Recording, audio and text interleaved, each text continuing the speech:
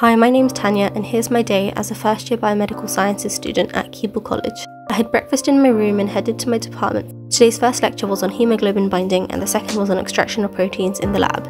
I then met up with a friend and we headed over to Cowley to study and talk over some tasty food.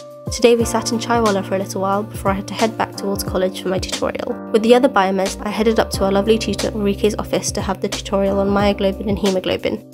The ISOC was holding a bake sale, so I picked up some sweet treats before heading in for the Friday Jummah prayer in the PR. I then met up with another friend to go to University Parks, where we went for a peaceful stroll to catch up. And then I went back to college for my second tutorial of the day before getting some free pizza in Max's office. The chaplain runs lots of great welfare events, and these often involve super interesting speakers and or free food.